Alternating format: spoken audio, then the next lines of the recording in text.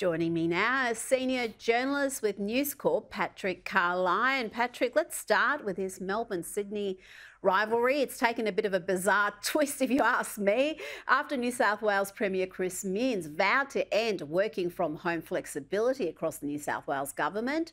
Well, the Victorian Premier has uh, taken a different approach. They are very happy for public servants to come in only three days a week, and a Victorian government spokesperson released this statement. Any public servants from New South Wales who like flexibility in their workplace should consider moving to Victoria. this is a rather bizarre statement, Patrick. The Melbourne CBD is dying. Vacancy rates are the highest of any capital city. You would think the government would be doing all it can to bring its workers back rather than boasting about uh, allowing them to work from home.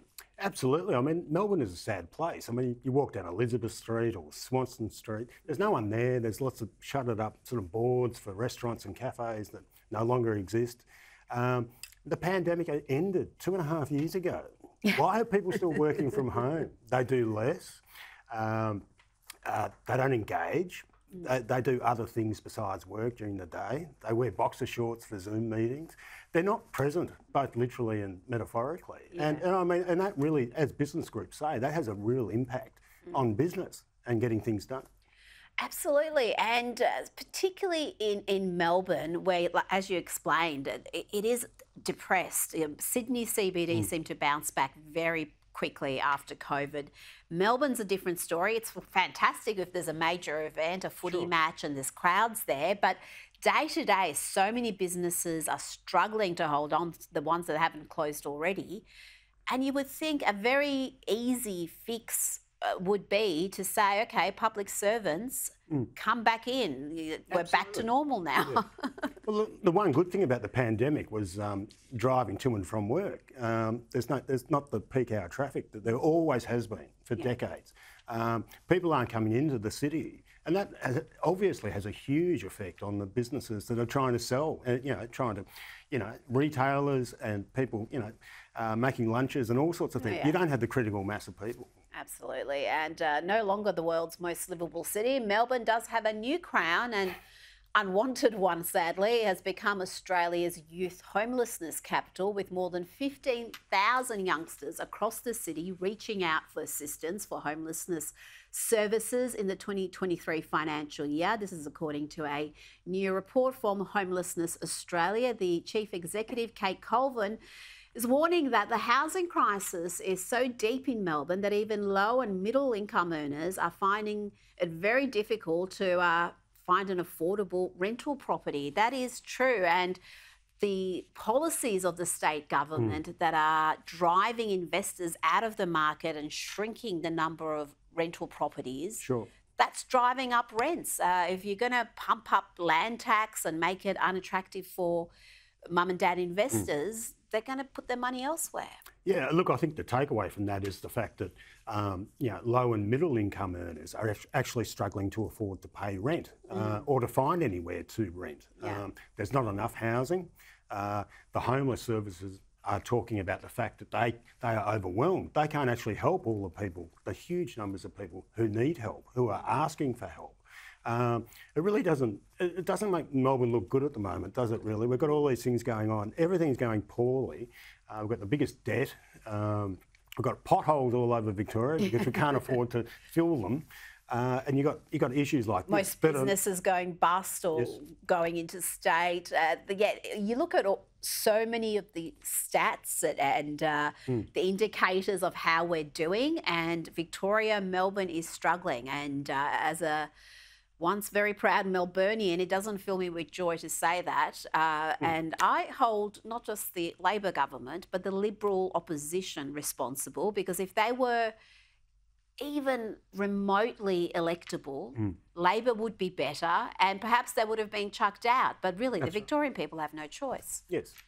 Oh, you look at the big build, you look at all the CFMEU stuff that's come out in the mm. last few weeks, you're talking about potentially hundreds of millions of dollars that should not have been, oh, has gone to places that it wasn't intended no. for.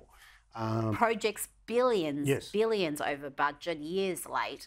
Now, let's talk about the UN announcing that nine employee, employees of UNRWA, the Agency for Palestinian Refugees, may have been involved in the October 7 attacks. Opposition leader Peter Dutton has called on the Albanese government to reconsider its funding of UNRWA.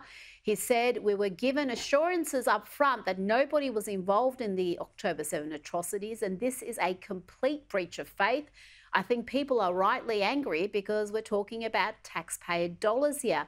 Patrick, should funding be suspended or at the very least a review be completed into where the money is going and who exactly is involved in this organisation because we've been talking mm. about UNRWA on this network for years and its links with Hamas. Yes, well, I think Peter Dutton is right onto something here. I mean, this is our money. We need to know what it's going towards. Mm. Uh, you've got deep uh, Hamas sympathies within this UN agency. Uh, and you're talking about people here accused not of waving a flag at a protest or saying the wrong thing. They were part, yeah, they've been accused of being part of a massacre mm. of 1,300 innocent people uh, on behalf of a, a terrorist organisation that wants to obliterate a, a democracy in Israel. Um, I mean, it's not surprising what's come out in the detail today, but it is shocking. It really is shocking. I can't imagine any other context where that could be, you know, uh, tolerated. Mm. That sort of infiltration.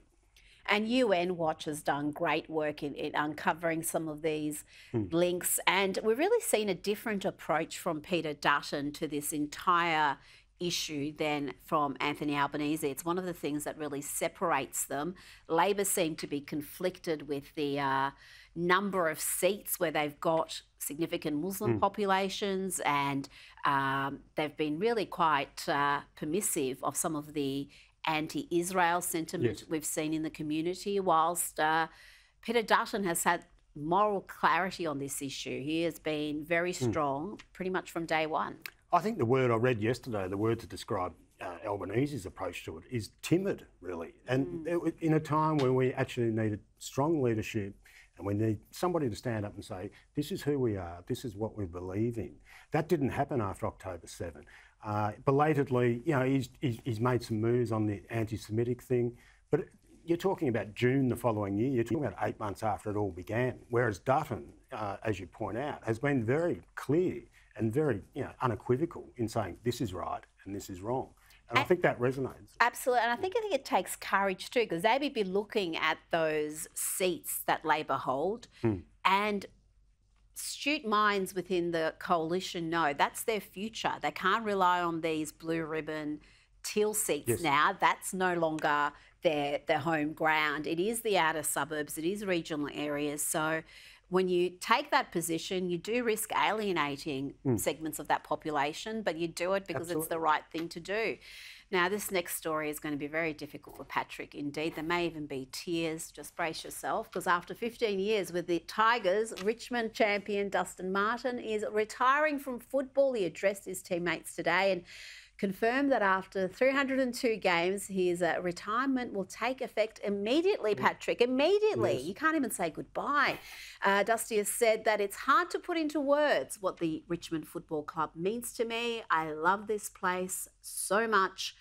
How are you coping? Um, um, will we find you in the fetal position later yes. tonight? It is, it is, a difficult day, I'll give you that. Um, against that, um, he's one of the great players uh, of a generation. He is one of those players. There are very few who come along. I think of uh, Wayne Carey or Gary Ablett Senior, who actually uh, individually and personally changed the game mm. during that era. And you're talking about Dusty, who won three Norm Smith medals. Mm. No other player has done that.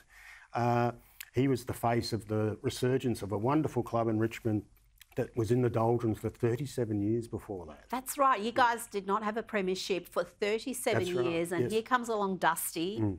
and now you had three in. Three and four years we Three had. and four years. I could watch. And, and your your supporters are now insufferable. So you know.